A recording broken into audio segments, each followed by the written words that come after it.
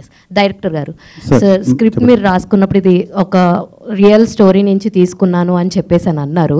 So ఈ స్టోరీని మీరు హన్సిక గారి కన్నా ముందు ఇంకెవరినన్నా హీరోయిన్స్ అప్రోచ్ అవుదామని చెప్పని అనుకున్నాను. ఎందుకంటే లేడీ ఓరియంటెడ్ సినిమా అంటే మనకి ఫస్ట్ గుర్తొచ్చేది నయనతార గారు కానీ సమంత గారు కానీ ఇలా గుర్తొస్తూ ఉంటారు లైక్ మెయిన్ హీరోయిన్స్లో సో ఈవిడ కన్నా ముందు ఇంకెవరినన్నా అనుకున్నారా.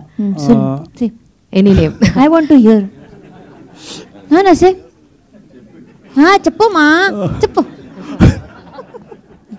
say no questions no next Actually- question okay only Hansika okay say say say actually Nayanthara గారిని కలవలేదండి ఆ, వేరే ఆ, సమంత గారిని వాళ్ళ మేనేజర్ ఆ టీం కలిసాం బట్ అక్కడ నుంచి బిఫోర్ నేను ప్రొడ్యూసర్తో వెళ్ళినప్పుడు అంటే ప్రొడ్యూసర్తో వస్తే బాగుంటుంది అన్నట్టు వాళ్ళ టీం చెప్పారు. సో ప్రొడ్యూసర్తో వెళ్ళినప్పుడు సమ్ అక్కడ కరోనా అదంతా ఉంది. కొంచెం టైం పడుతుంది.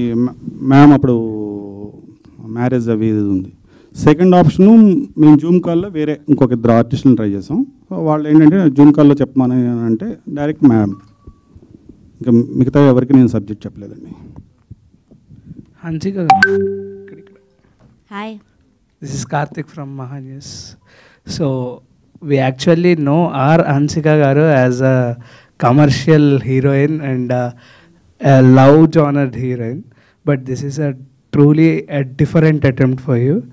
Any rehearsals you have just practiced for this because uh, the screen presence of a heroine will uh, will have the main impact on this film because in this uh, female centric films so what's your opinion on that Well, I think it was high time that I come into female centric films and um, I do something different. I've done a lot of movies before, which has just been about more glam, pretty, cute. And um, like I said, I wanted to give um, another experience um, to my audience and, you know, just experience some great cinema myself.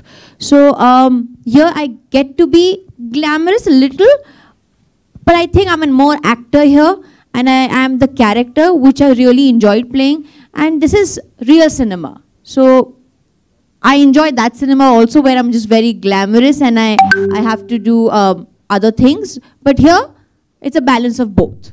So yeah, maybe it was high time that I uh, show the different side of Hansika too. yeah exactly so another one question